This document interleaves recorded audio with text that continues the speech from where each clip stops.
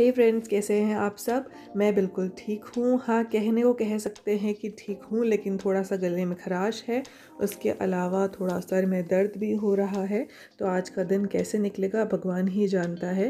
मैंने आज सुबह ब्रेकफास्ट में हस्बैंड को चीज़ ऑमलेट खिलाकर और फिर कोर्ट रवाना किया था। और अब मैं थोड़ा सा घर की साफ़ सफ़ाई करने के बाद में मलाई से घी बनाने वाली हूँ। मैं जनरली घी घर में ही बनाती हूँ, लेकिन अगर कोई स्पेशल ओकेजन्स होते हैं फेस्टिवल होता है, तब बाहर से भी लेके आ जाती हूँ, क्योंकि उसके अंदर हमेशा कुछ ना कुछ स्पेशल बनता है, मिठाइयाँ बनती है, इस वजह से। बाकी रूटीन में जो घी है, वो मैं मलाई से ही बनाती हूँ।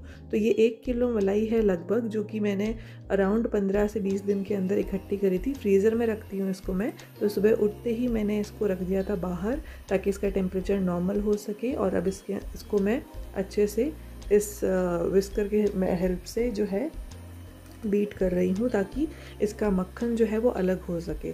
तो हम एक सिंपल मलाई से बहुत कुछ बना सकते हैं। जैसे कि अभी देखिए, ये पहले ये जो तैयार हुआ है, ये हमारा मक्खन तैयार हो चुका है। इसको हम अब अलग कर सकते हैं और जब भी लस्सी या कुछ बनाएँ तो हम या फिर ब्रेड के ऊपर स्प्रेड करके इसको हम खा सकते हैं। लेकिन मुझे फ़िलहाल मक्खन के अलावा क्रीम भी चाहिए है तो मैंने मक्खन थोड़ा सा तो साइड में निकाल के रख दिया था, करीब तीन चार चम्मच उससे ज़्यादा नहीं रखती मैं। और अब जो है, इसकी बनाऊँगी मैं क्रीम।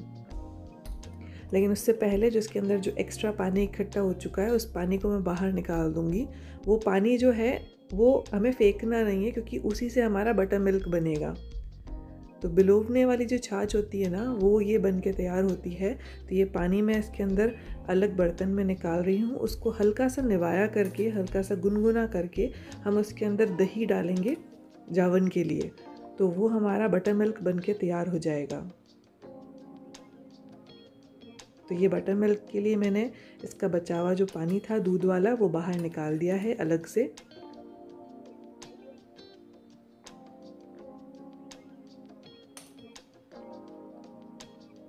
और मक्खन भी जो है, वो मैंने थोड़ा सा अलग निकाल दिया। अब मैं इसका बना रही हूँ क्रीम क्योंकि हस्बैंड की बर्थडे आने वाली है तो ऑब्वियस सी बात है केक तो घर में बनेगा ही। तो उसके ऊपर क्रीम लगाने में काम आ जाएगी। तो ये बटर क्रीम तैयार है और अब मैं बचे हुए जो क्रीम के मतलब जो पार्ट है उससे मैं घी बनाने वाली तो क्रीम को मैंने अलग रख दिया है और अब मैं जो बचा हुआ मेरा ये मक्खन का पार्ट बच गया या हेवी क्रीम बच गई, इसका मैं घी बनाने वाली हूँ। तो इसको हम रखें गैस पे और ये जो मैंने बटर मिल्क वाला निकाला हुआ है पानी, यानी बचा हुआ जो दूध का पानी है, इसको मैं रख दूँगी फ़िलहाल फ्रिज में और बाद में इसको निवाया करके और उसके बाद इसमें हल्का दही का जावन दे दूँगी। तो ये जो अब घी बनने का प्रोसेस स्टार्ट हो चुका है तो इसको बनने में कम से कम लगते हैं एक से डेढ़ घंटा डिपेंड करता है कितनी क्वांटिटी है और एक टिप इसके अंदर है कि आप लगातार जो है इसके साथ में खड़े तो रह नहीं सकते हैं तो आप इसको सिम करके रख दें रख दें ताकि उफन के बाहर नहीं आएगा। और स्पिलिट से बचने के लिए बेटर कोशिश आप यही रख सकते हैं कि मैं तो क्या करती हूँ कि जब मेरे को घर लंच बनाना होता है, उस दौरान मैं ये घी का जो प्रोसेस है, इसको मैं हीटिंग प्रोसेस स्टार्ट कर देती हूँ तो साइड के अंदर ये बनता रहता है और साथ ही के अंदर मेरा लंच भी तैयार होता रहता है। तो इसका ध्यान रखने के लिए मुझे अलग से बार बार नहीं आना पड़ता। तो ये देखिए, करीब एक डेढ़ घंटे के बाद में जो घी है, वो इस तरह से तैयार हो चुका है। हल्का हल्का घी ऊपर आने लगा है और जो ये पीछे बचा हुआ दिख रहा है वाइट वाइट ये जो है, ये हमारा किटू मावा तैयार हो जाएगा। ये एग्जैक्टली exactly मावा नहीं होता है, लेकिन जब हम इसको तैयार करते हैं अलग से घी बना, घी निकालने के बाद में तो ये मावा जो है ना, वो बिल्कुल पाली का जो गुलाब हलवा है, उसका टेस्ट देता है हमको। सिकावा मावा जैसा लगता है ये तो हम वो बाद में बना के कभी मैं आपको दिखाऊँगी किस तरह से वो भी हम इससे बना सकते हैं। तो फ़िलहाल अब इस पॉइंट पे हाँ मैं जनरली क्या करती हूँ कि इसको मैं नॉन स्टिक के अंदर ही करती हूँ, पर इस बार क्या है कि मलाई काफ़ी ज़्यादा हो गई थी और मैंने सोचा कि जब इस बर्तन में ही ऑलरेडी मैं कर रही हूँ तो वापस दूसरा बर्तन मैं क्यों करूँ? तो इसी के अंदर मैंने इसको घी को बना के तैयार कर दिया था। लंच मेरा तैयार हो चुका था भिंडी और चपाती खाने के बाद में मैं अब कुछ सब्ज़ियाँ ये मंडी से लेकर आए थे क्योंकि कोर्ट आज वहाँ जाना था ना पावटा साइड में तो फ्री भी हो गए थे जल्दी तो फिर ये कुछ सब्ज़ियाँ लेकर आ गए तो मैं बस उनको अब फ्रिज के अंदर स्टोर करने के लिए इस तरह से मिर्ची के ऊपर के डंठल हैं, वो हटा रही हूँ ताकि मेरी मिर्चियाँ जो है वो करीब महीना भर चल जाए। आपको लगता होगा कि महीना भर चलना is next to impossible but it is possible my dear आप इसको इस डब्बे के अंदर डाल के, लेकिन डब्बे के अंदर पहले आपको डालना है अखबार, और अखबार के बाद में आपको डंठल जितने भी हैं मिर्ची के, वो सब निकालने पड़ेंगे, और उसके बाद आप वापस एक और अखबार का इसके ऊपर टुकड़ा लगाएँगे।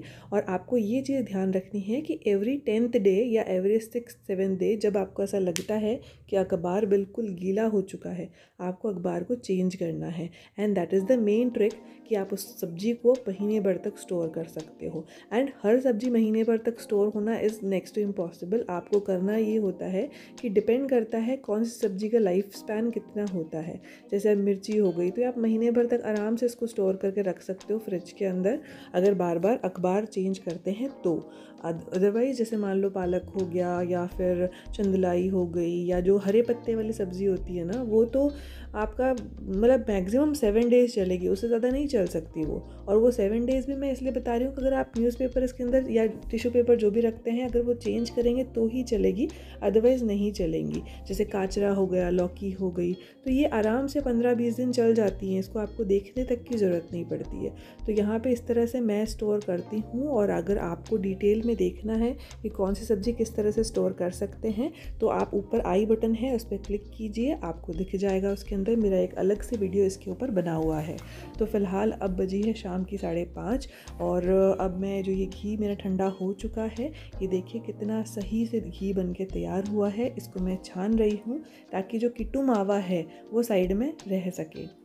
तो किटू मावा की रेसिपी जो है, मिठाई जो है, वो मैं आपको डेफिनेटली कोशिश करके नेक्स्ट वीडियो के अंदर ज़रूर दिखाऊँगी किस तरह से हम किटू मावा की रेसिपी तैयार कर सकते हैं, जिससे हमें जो टेस्ट आएगा ना, वो टेस्ट बिल्कुल पाली वाला गुलाब हलवे की तरह टेस्ट आएगा उसका, या कह सकते हैं कि सिके मावे का टेस्ट आएगा उसके अंदर।